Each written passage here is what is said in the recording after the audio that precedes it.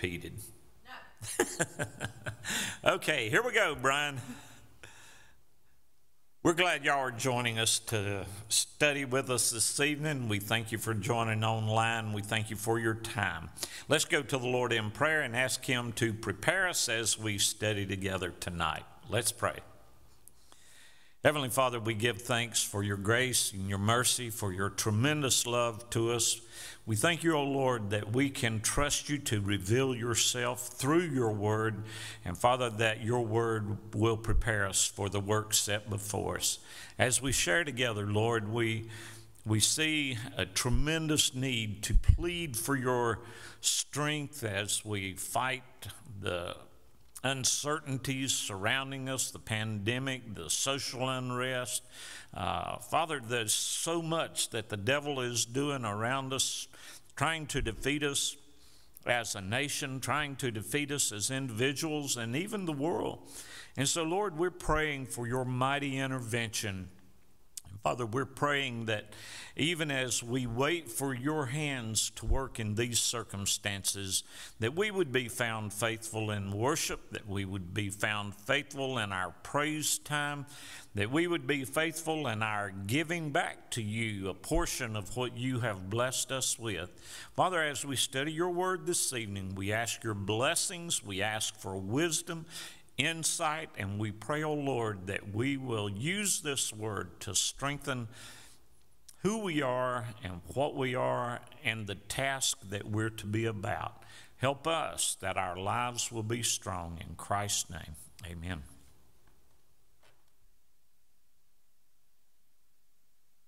We're going to sing the first, the second, and the last of Amazing Grace, and then the first and last of Grace Greater Than Our Sin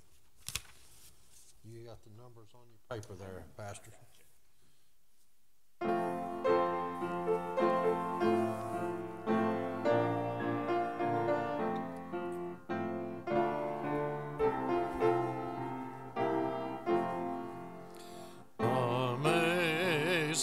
grace, how sweet the sound that saved.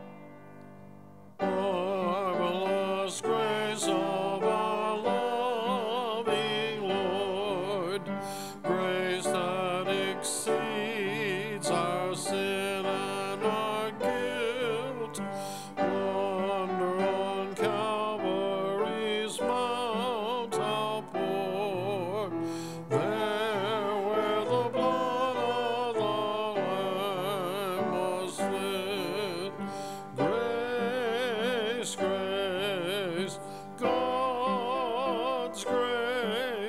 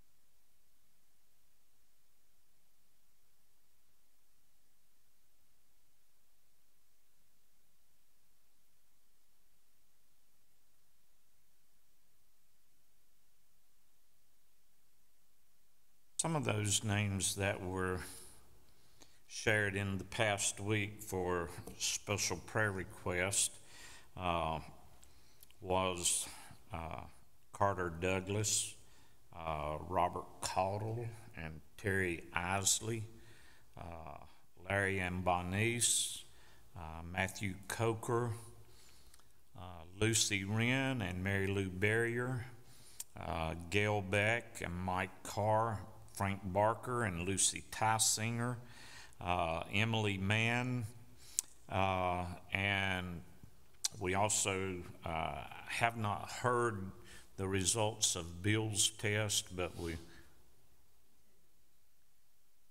Okay, we're just told that uh, Bill is still in remission, so praise report for that. And uh, appreciate all the prayers for Bill as he was awaiting those results. So, uh, good news, good news. Okay, and anyone else that have a yeah family of Angie Swink?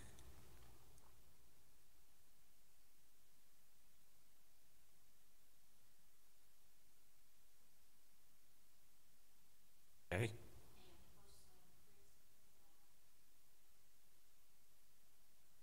Yes. C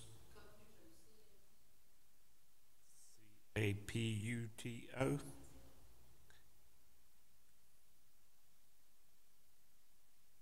And Amy Taylor. Okay, yeah. Amy Taylor. Okay. All right, anybody else?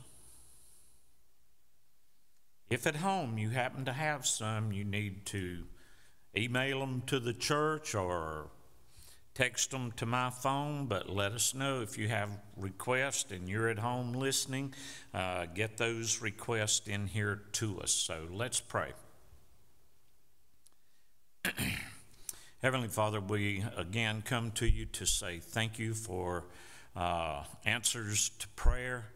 Uh, we're especially thankful tonight to hear that from Bill's results that he is still in remission, and we're thankful for that, and we praise you for answering prayers. We ask you, Father, to continue being with others that are dealing with sicknesses and troubles of one sort or another. We still have families that are dealing with death, and we ask, Father, your comfort on them. And Father, again, we ask tonight that uh, your wisdom would be imparted to us as we try to share your word and allow this word to speak to us as we study together. Father, let your holy will be done. We pray in Christ's name. Amen.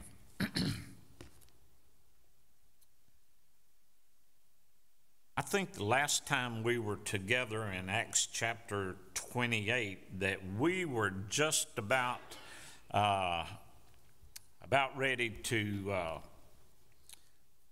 try to settle an argument, and uh, there was an argument getting ready to take place uh, about whether or not the Apostle Paul had persuaded these people in Rome to accept uh, his teaching uh, from the prophets, from the law of Moses, uh, as he shared this Old Testament message with, with these people who were putting him on trial. Uh, and it says that uh, he spent uh, an extended period of time, a day, sharing with them this message concerning the kingdom of God.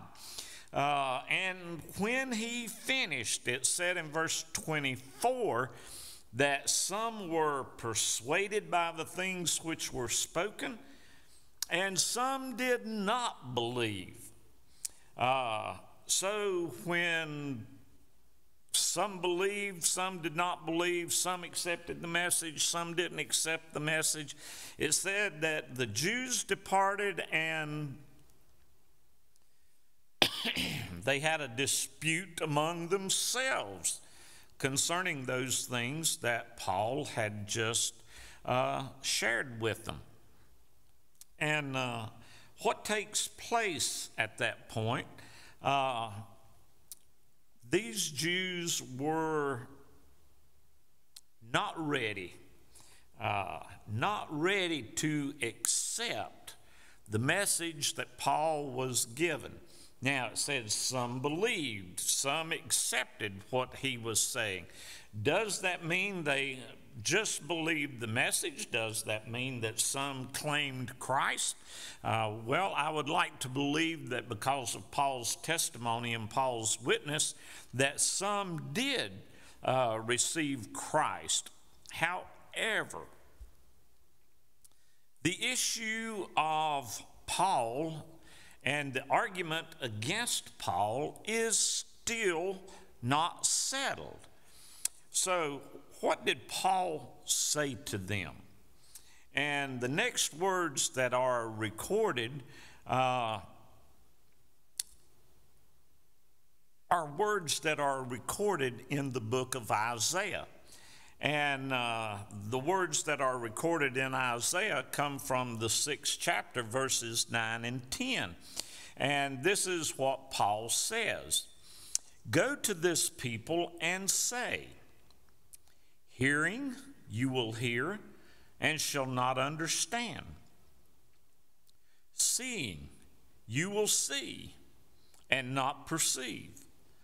For the hearts of this people have grown dull their ears are hard of hearing.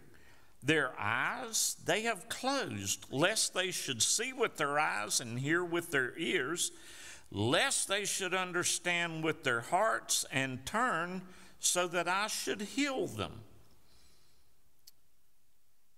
So, what's Paul saying to these people? Folks, you need to know and understand that when I talk about the Holy Spirit, this is something that was talked about in the Old Testament, in the prophets, in a place that you know, in a place that you're supposed to understand.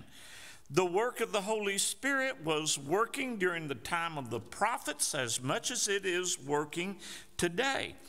And so, as Paul shares concerning the inspiration of the Holy Spirit in the Old Testament, you might be reminded of what was said in the first chapter of Acts at verse 16 when Paul said to those people, Men and brethren, this scripture had to be fulfilled. The Holy Spirit spoke before by the mouth of David concerning Judas, who became a guide to those who arrested Jesus. Was the Holy Spirit working in the Old Testament? Yes. Uh, and here Paul says, This is the same Holy Spirit that was working when David spoke concerning one who would betray the Messiah. This is the same Holy Spirit that was working at that time.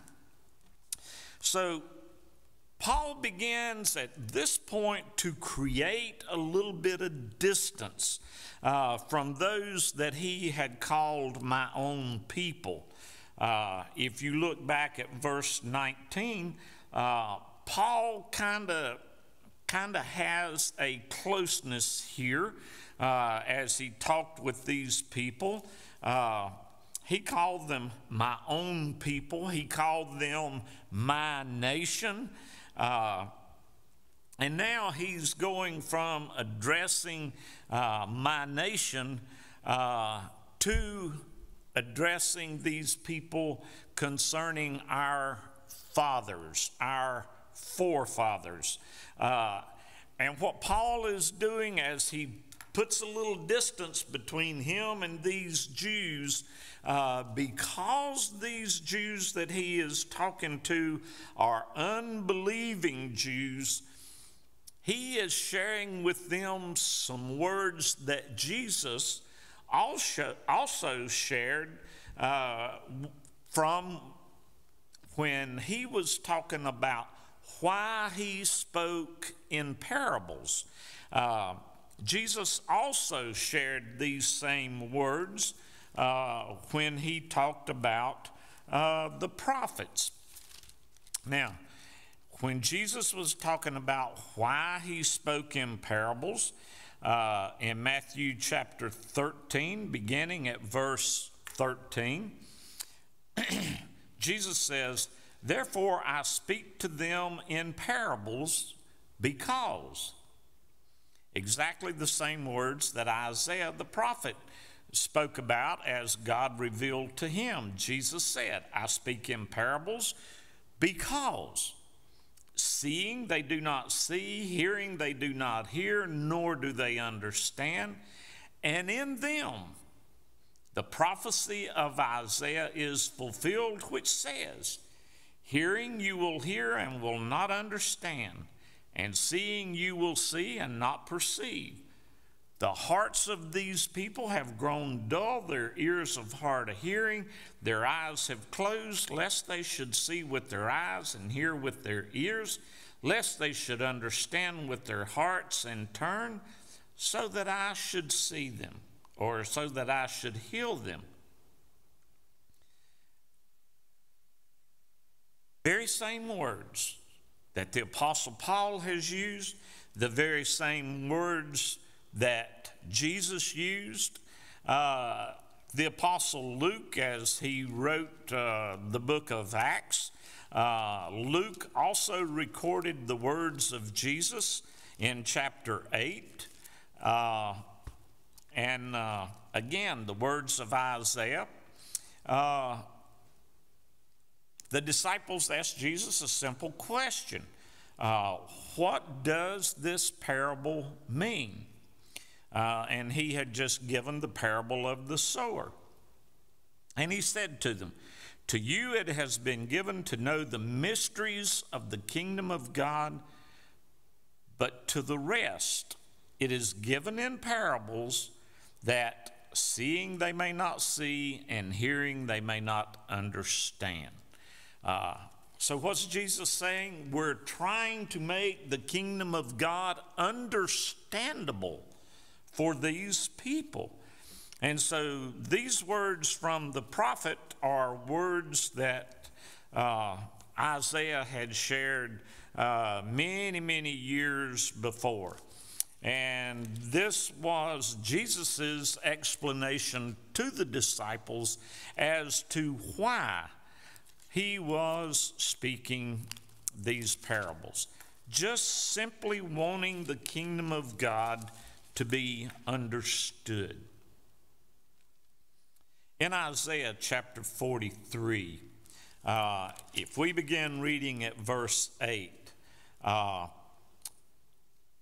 these words are given to the prophet. And God says to the prophet, Bring out the blind people who have eyes, and the deaf people who have ears let all the nations be gathered together. Let the people be assembled. Who among them can declare this and show us former things? Let them bring out their witnesses that they may be justified. Or let them hear and say, It is truth. You are my witnesses, saith the Lord and my servant whom I have chosen, that you may know and believe me and understand that I am He. Before there was no God formed, nor shall there be after me. I, even I, am the Lord, and besides me there is no Savior. I have declared and saved, I have proclaimed, and there was no foreign God among you. Therefore, you are my witnesses, says the Lord, that I am God. Indeed, before the day was, I am He, and there is no one who can deliver out of my hand. I work, and no one can reverse it. Paul understood the very stubborn attitude of these Jews that he was facing or had faced and was now trying to walk away from. We have a nation, God's chosen, and we have a nation with a very stubborn attitude. God's chosen. And they are so unwilling to receive God's redemptive plan. And God told the prophet Isaiah to call these people out and understand that God is the Savior for this nation and that they should understand His kingdom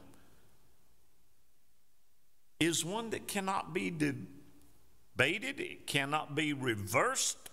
God is the Lord, God is the Creator, and Israel is not ready to accept it.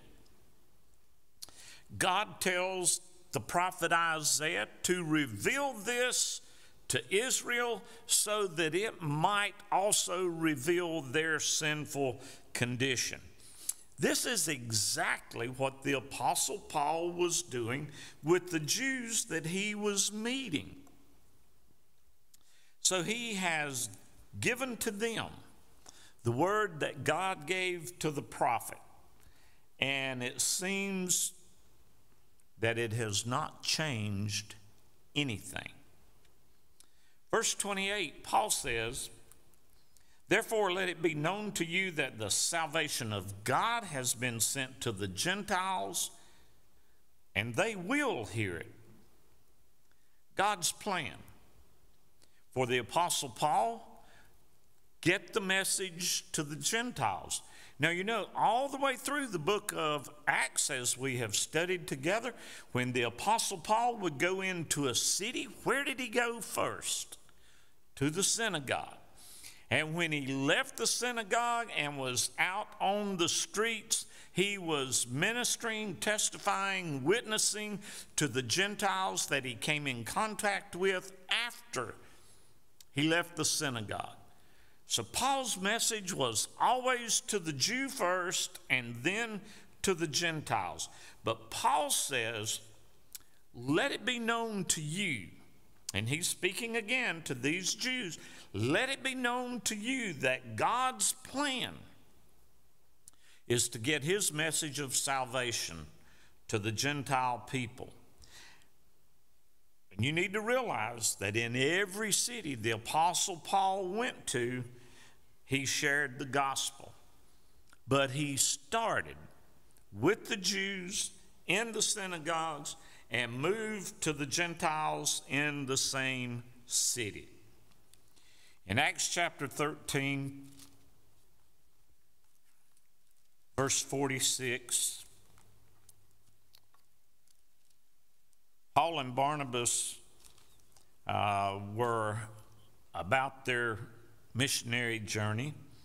And it says in verse 46 that Paul and Barnabas grew bold and said, it is necessary that the Word of God should be spoken to you first.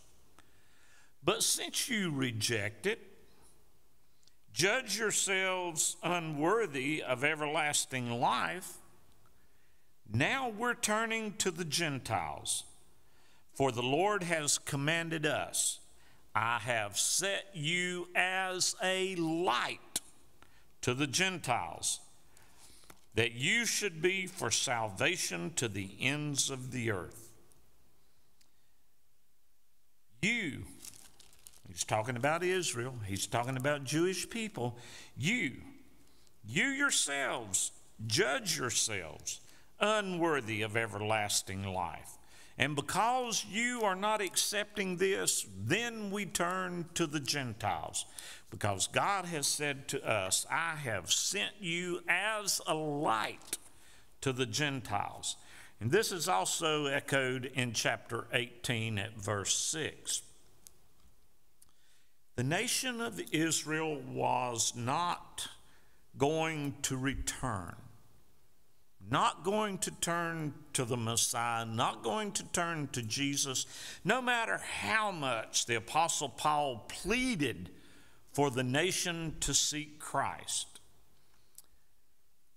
And it's not going to happen now until Jesus comes again.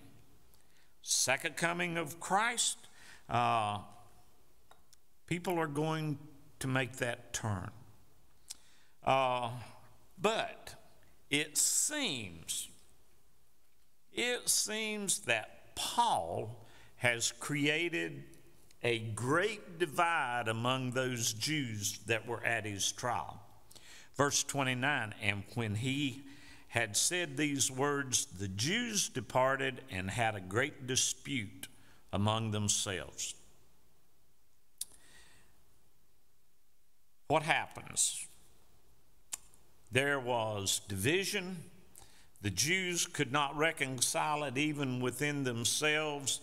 And so it seems that the Apostle Paul might be free. Verse 30 Paul dwelt two years, two whole years, in his own rented house and received all who came to him, preaching the kingdom of God and teaching the things which concern the Lord Jesus Christ with all confidence, no one forbidding him. Well, we don't know just exactly what happened to Paul's case. Uh, it seems that Luke was more involved with recording church history than he was in recording the Apostle Paul's life at this point. But it seems, it seems that the Apostle Paul was released uh, to do ministry for a certain period of time. It is probably somewhere in the time period of about AD 63 to AD 65, somewhere in this period of time. Uh, and Paul was probably released because the Roman officials had not found anything uh, to do substantial charges against them. If you study the book of Romans, it seems that from this day, when Paul might have been released, not only did he do ministry and service in Rome, but there was also the possibility and the likelihood that he went to Spain. Uh, and if you look in the book of Philemon, the 22nd verse there, uh, Paul said that he was hopeful that he was going to be released. Uh, in Philippians, the first chapter, Paul said he had confidence that he was going to be released. Uh, not only leaving Rome and going to Spain, it tells us that there was the likelihood that he also went to the Isle of Crete during this period of time and ministered there. And since Rome seemed to be in no great big hurry to settle this, uh, Paul just continued where he was at for a period of time, uh, ministering to everyone that would come to him. This period of time, probably about two to three years. Studying the scriptures while Paul was here for this two or three years, uh, he penned the book of Ephesians uh, the book of Philippians, the book of Colossians, and the book of Philemon while he was here in Rome. Uh, Tychicus, Onesimus, Epaphroditus, uh, these were some that had accompanied Paul on his missionary journey.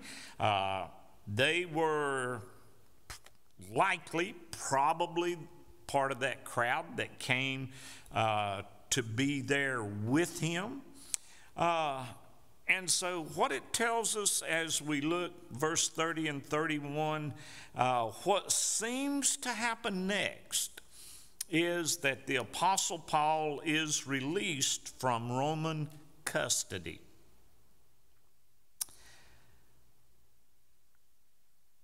In the eastern part of the Roman Empire, uh, it is recorded that Paul preached the gospel uh, as he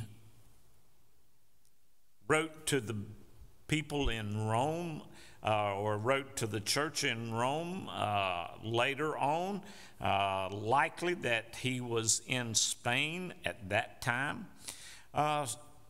So, what takes place with the Apostle Paul?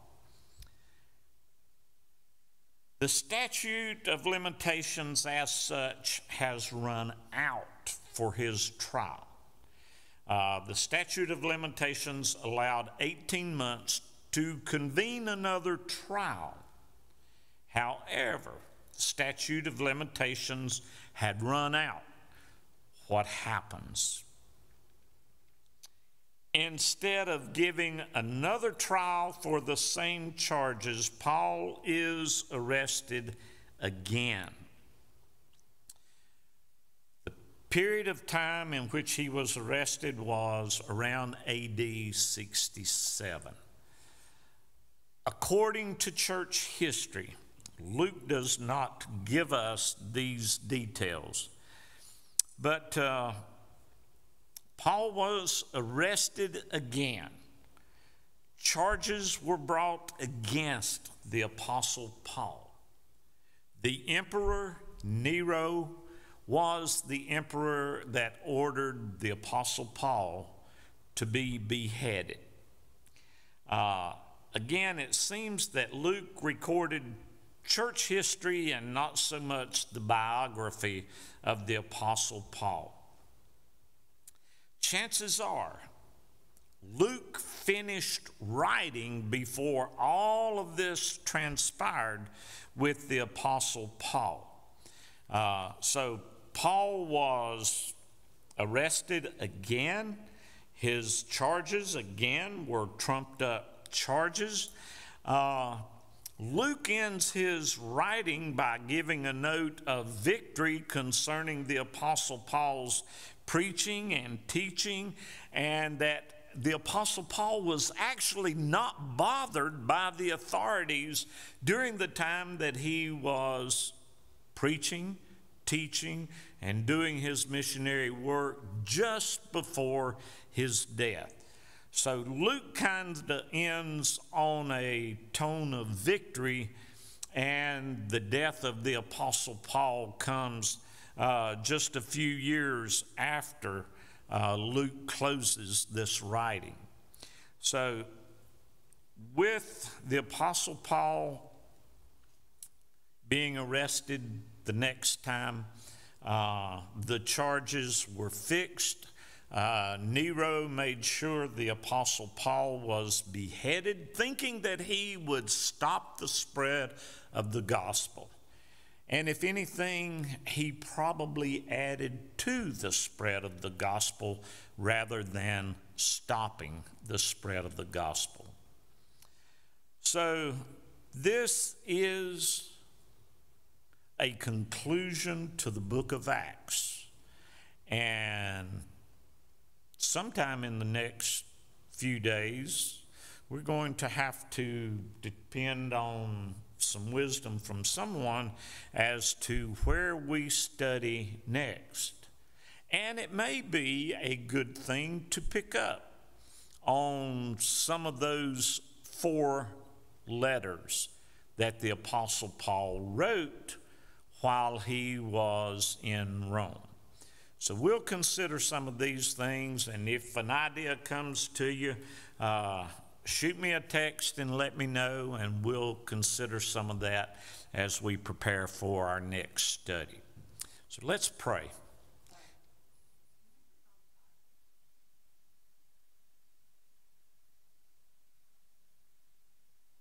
Okay? Uh, remember Tommy Byerly in your prayer. He is being dispatched with the Red Cross headed to uh, Baton Rouge, Louisiana, with the storms there. So please remember Tommy as he goes there, and remember Stacy as she tries to keep things going here at home. Uh, let's pray. Heavenly Father, we thank you for the strength and power of your word. We thank you, O Lord, for time to read, to study, to share, and to apply this word. We give thanks, O Lord, for your Spirit, and we pray that your Spirit will grant wisdom and understanding as we seek uh, the things that we need to do to share the gospel of our Lord Jesus Christ. Father, we need your wisdom and your guidance. Help us, O Lord, I pray, to be effective in these troubling times. I pray this in Christ's name. Amen.